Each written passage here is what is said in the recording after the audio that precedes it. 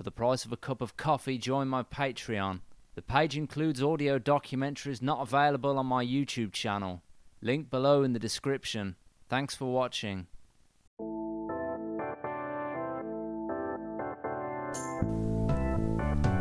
In 1968, after the release of the White Album in November, the Beatles were falling apart. Paul believed getting back to live performance would bring them back together. The plan was to write and rehearse 14 new songs in 17 days. They would then perform the songs in front of a live studio audience, which would be broadcast on TV. The rehearsals would be recorded for a television special directed by Michael Lindsay Hogg. What became known as the Get Back sessions were booked for January 1969, but time was finite. Ringo had to start filming The Magic Christian on the 24th of January.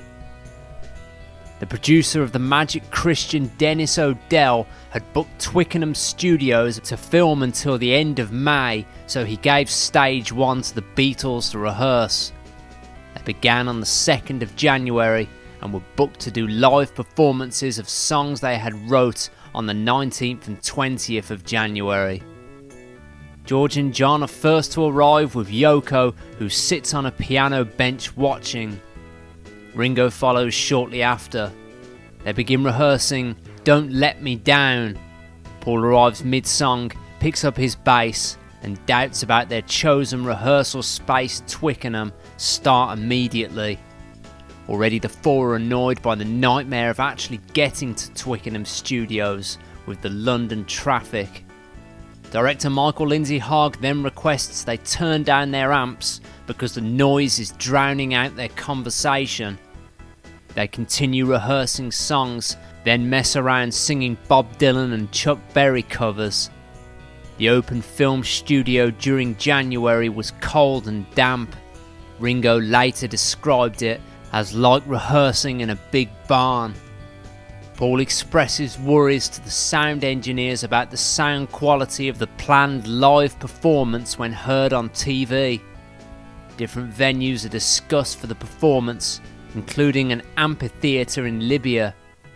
Paul rejects the idea, stating, Ringo doesn't want to go abroad. He put his foot down. Then he jokes, So us and Jimmy Nichols might go abroad. They continue rehearsing songs and John states every time he sings Don't Let Me Down, the vocals are so high it hurts his voice. Few days in, they express their anxiety about the live performance in front of an audience. With a sense of urgency, Paul and George begin arguing about how they should be rehearsing a song, George's improvisational style being the issue. During the argument, John takes Paul's side, saying, Whoever's song it is should give the orders. The group later discuss what direction they should go in, with George stating, Things have never been the same since Mr. Epstein passed away. Paul continues to try and motivate the group and keep the project moving. The group still can't make a decision on a location for the live performance on the 19th. They consider a venue in Libya with the audience given free boat rides over. George argues it's impractical to transport the whole studio audience over. Paul states, That's not our problem how they get there. John echoes Paul, repeating, That's not our problem.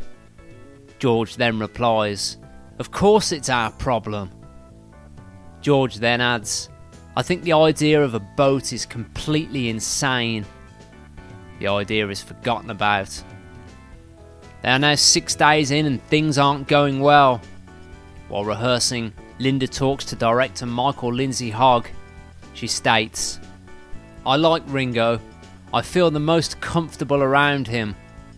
Michael replies, Me too. The Beatles continue working while the cameras buzz like mosquitoes by their heads. John, unable to concentrate, makes little contribution. As they break for lunch, George tells John, I think I'll be leaving the band now. John, confused, replies, When? George answers, Now. And with that, George leaves the studio and quits the Beatles. After lunch, one Beatle down, George's space now empty, John announces, so pissed. Paul adds, I don't know what we're coming back here for. John then jokingly states, OK, George, take it. And they begin playing wildly. Yoko then takes George's seat and begins wailing into the microphone. Afterwards, Michael Lindsay Hogg suggests for the live performance on the 19th, they could say George was sick. He then asks if any of the Beatles have left as seriously as this. John replies, Well, Ringo. The entire group, including George Martin, sit down together and John states, So, cats and kittens, what we gonna do? Paul suggests they do the live performance at the Cavern Club. George Martin states, Location isn't really the problem now. They then decide to arrange a meeting with George, hoping to convince him to rejoin the band. Two days later, they arrange to meet at Ringo's house. During the meeting, John doesn't talk, Yoko speaks for him. Negotiations break down during their conversation, and George storms out the room, slamming the door behind him. The three Beatles agree to return to the studio and carry on rehearsals without George. On Monday, Ringo is the only Beatle to arrive at Twickenham Studios. Neil Aspinall phones John and Paul to ask if they're coming. Ringo asks director Michael Lindsay Hogg, Do you have enough footage for a good documentary? Michael replies, if we tell it like it is, we've got a very good documentary. As they're talking, Paul arrives. Paul states that it's difficult writing music with John now he's with Yoko. He also says they can't expect John not to bring Yoko to meetings. Neil Aspinall adds, but there must be some compromise. Michael Lindsay Hogg jokes, I thought the other day I might leave but then I thought they wouldn't notice. After that, Paul takes a phone call from John, who confirms he's on his way in. When John arrives, they get word George has gone to Liverpool and won't be back till Wednesday. At this point, the live show is changed from the 19th and 20th to the 26th and 27th. At this point, sets for the Magic Christian begin to arrive. Rehearsals are cancelled and another meeting with George is planned at Ringo's house. As part of George's terms to return, the live TV performance is abandoned, but not the live recording. They also decide to leave Twickenham and rehearse at the Apple Basement Studios Magic Alex Mardas is designing.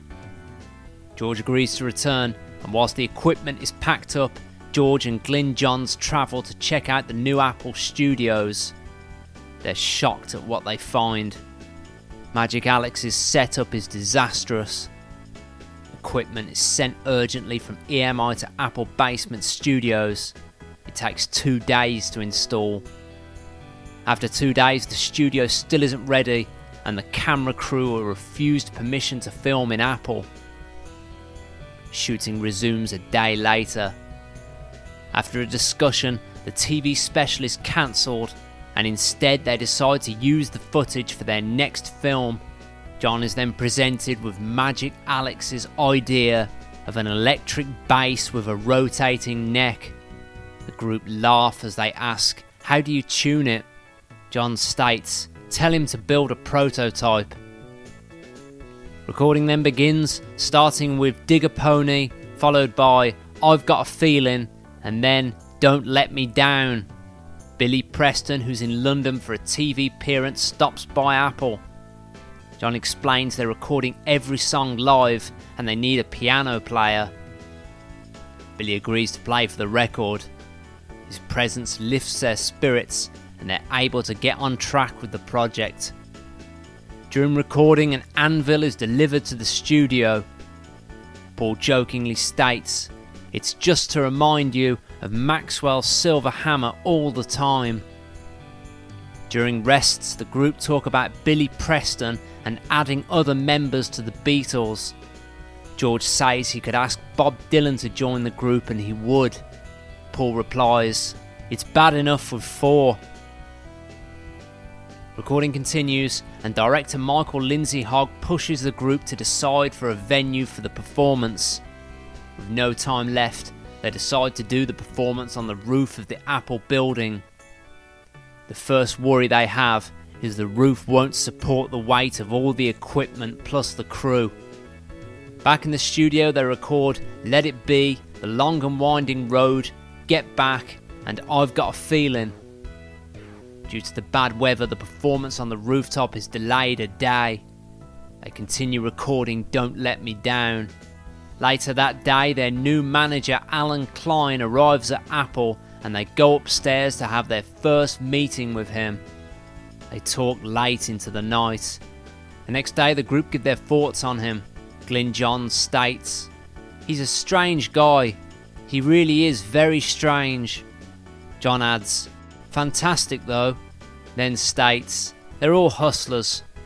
Glyn Johns goes on to talk about Klein's personality, stating, He'll ask you a question and you're halfway through answering it, and if he doesn't like the answer, or if it's not really what he wanted to hear, he'll change the subject right in the middle of a sentence.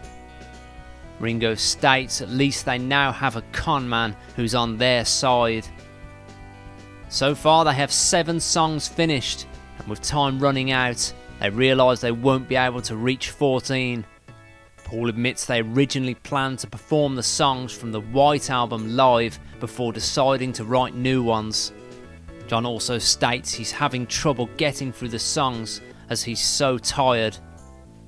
All four members, other than George, are happy to perform on the roof of Apple.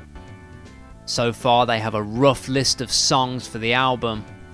They read as follow I've Got a Feeling, Don't Let Me Down, The Long and Winding Road, Let It Be, For You Blue, Two of Us, Dig a Pony, currently titled All I Want Is You, Across the Universe, Maxwell's Silver Hammer, One After 909, She Came In Through the Bathroom Window, currently titled Bathroom Window, and All Things Must Pass.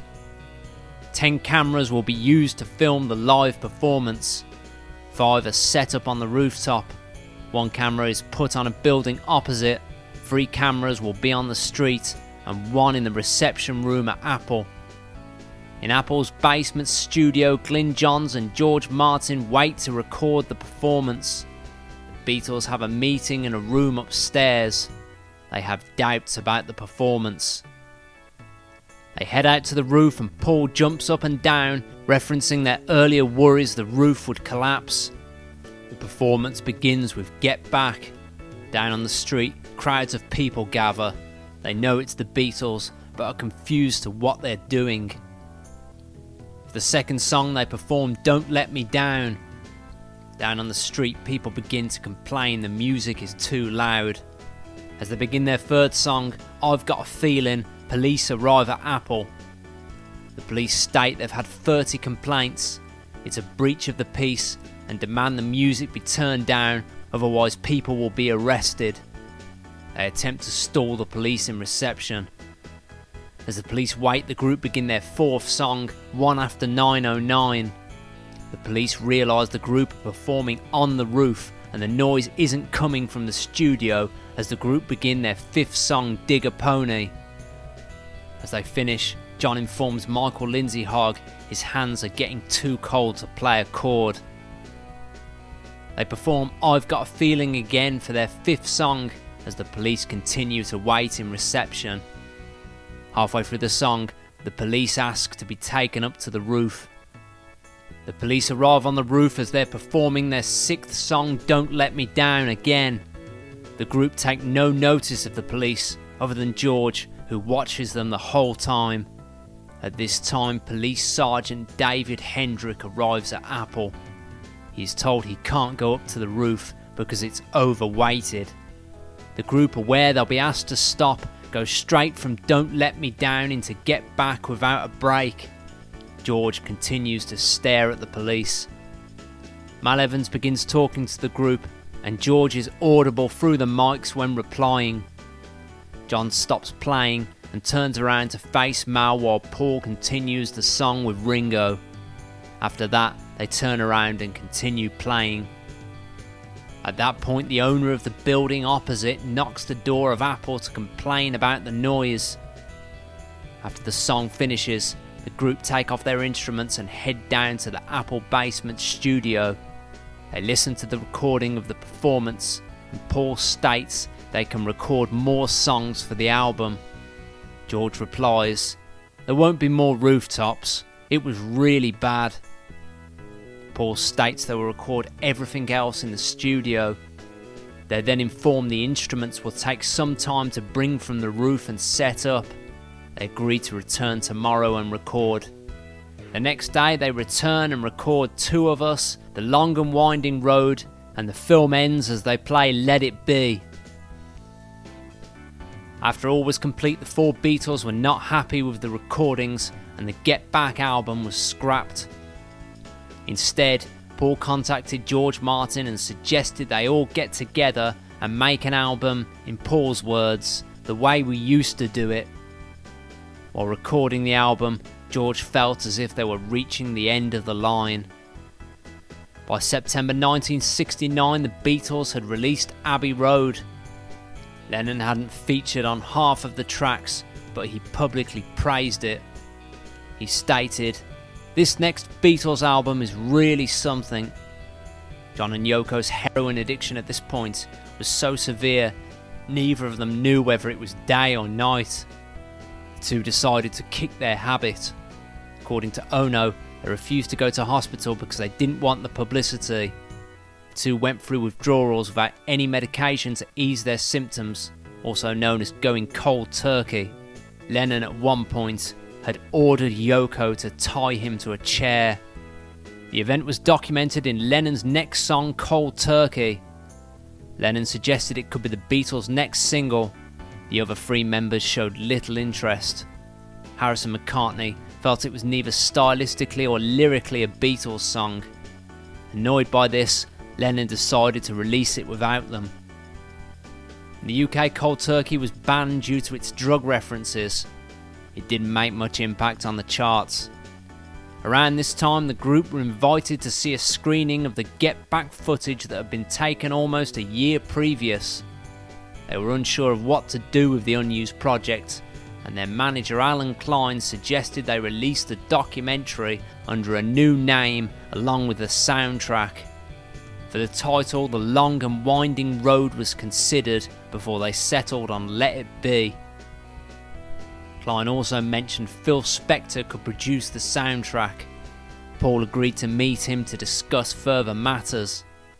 They would never meet.